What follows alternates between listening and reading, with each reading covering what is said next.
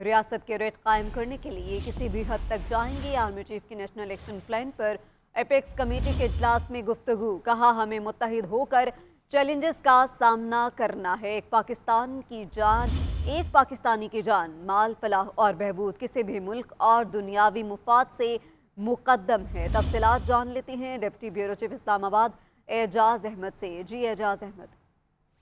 जी, apex committee के इजलास में आर्मी चीफ की गुफ्तु आज बहुत वाजे और दो टोक थी। उन्होंने उन्होंने उन्होंने ये वाजे किया कि वक्त आ गया है कि सिर्फ़ और सिर्फ़ पाकिस्तान और पाकिस्तानियों के वफात को मुकदम रखा जाए। उनका ये कहना था कि एक इंडिविजुअल पाकिस्तानी की जान और माल का तहफ़ भी हमारी सबसे ज़्यादा अवलिन तरजीह है। उन्होंने अंग्रेज़ी में बात करते हुए ये कहा कि we have only Pakistan has only one option and it has to rise to the challenges उसका ये कहना था कि चैलेंजेस के मुकाबले के लिए पाकिस्तान ने खड़े होना है, और पाकिस्तान खड़ा हो रहा है। उनका ये भी कहना था कि रिट ऑफ़ द स्टेट को एस्टेब्लिश करने के लिए किसी भी एक्सटेंट पर किसी भी हद तक जाना पड़ा तो हम जाएँगे। उन्होंने ज़ोर देकर हुकूमती अदारों को और हुकूमत को ये ये कहा कि मुतहद होकर चैलेंजेस का मुकाबला करना है।